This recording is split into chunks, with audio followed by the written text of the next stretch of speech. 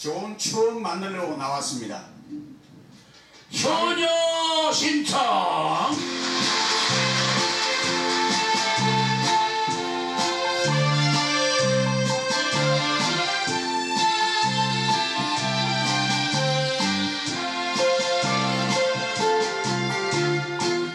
공양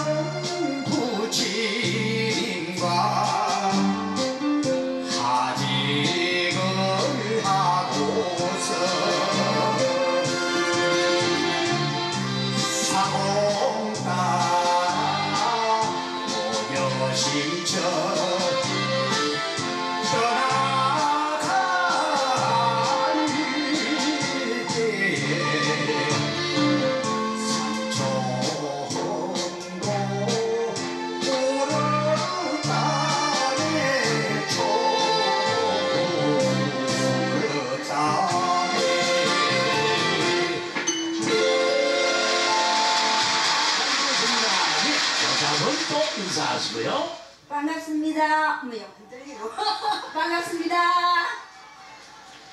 네 누구시라고 그러세요? 아 사상 아 주례 삼동 염력순입니다.